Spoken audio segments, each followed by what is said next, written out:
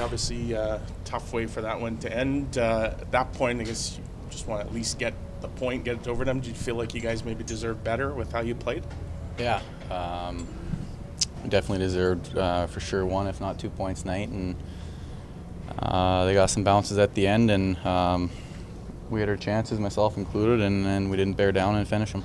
You had that really good chance in the last few minutes. When you're playing a team like the Marlies, obviously they've had a lot of success this year um, and a lot of skill out there. Is it just a case of maybe uh, easing off a little bit at the end or, or looking ahead uh, that, that that breakdown happened? Uh, no.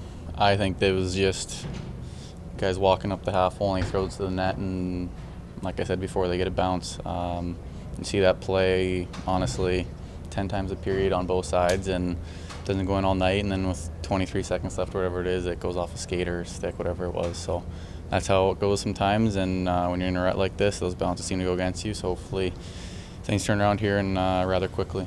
Right. I mean, as you say, those were maybe bounces that were going your way earlier in the year. Uh, can that be a thing? Like momentum can work both ways. That when things are going tough, it just seems like it snowballs on you, and it's hard to get out of that funk.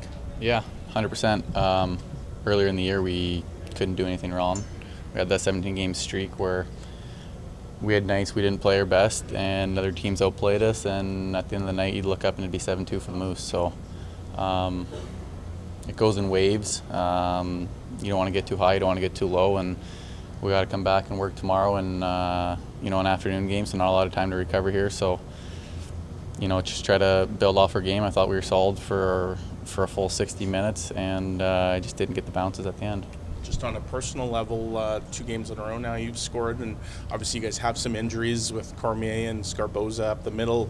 Um, what's what's it been like personally to be able to, to get on the score sheet here the last couple games? Uh, it's been nice. Um, be a lot happier if it was, you know, with uh, two points for the team at the end of the night. But, um, you know, it's I scored tonight and I had two other great A chances in the third period that I didn't bury. And, you know, if one of those goes in, it's a totally different game. So I'm more going to think about those ones than the one that went in. So um, my goal is just great play by Sammy. Didn't get a lot on the shot. Uh, kind of got fortunate, but I'll take it. Uh, with Nick going down in the second and uh, the line sort of changing as the game moved on. One line that changed stayed the same was yours. What uh, made you guys so effective tonight? Uh, Buddy and, and uh, Brendan are really good forecheckers. Um, you know, they, they have a lot of speed and, and they know how to use it, and they're physical, they're on the body, they're on pucks, and um, doesn't matter who you're playing in this league. If you have a good forecheck, you're going to hem teams in, you're going to get your chances, and, and uh, I try to just keep it simple with them. Um, we've had some some good chances the last two three games we've played together, and uh, hopefully we can go get a couple more tomorrow. Uh, looking at tomorrow's game, take a little bit of confidence from uh, playing such a tight, close game against the best team in the AHL right now.